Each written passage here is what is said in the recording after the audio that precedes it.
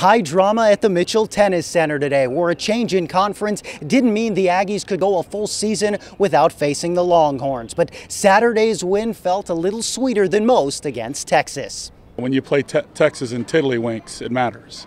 And uh, it was a great college tennis match, and we were fortunate enough to win. And uh, it's a shame we don't play them all the time because I think uh, it's the best rivalry or one of the best rivalries in college sports.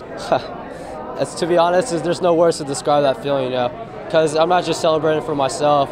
I, I, did it for the whole team, for the school. You know, obviously the A&M and the Longhorn rivalry, you know, it's just so big. It's just a special thing, especially that now we since we moved to the SEC.